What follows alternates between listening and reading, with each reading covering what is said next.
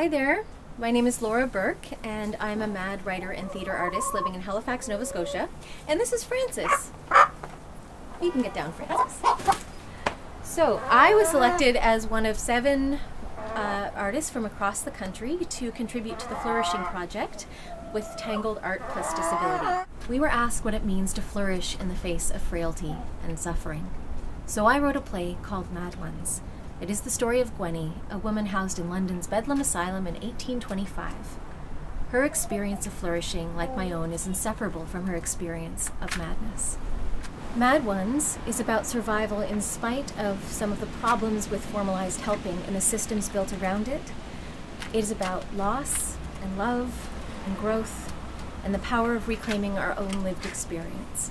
To produce this little play and to support our wonderful team of collaborators, we could use a little of your help in the form of donations to the project. Thank you for listening and for your support. Say goodbye, girls!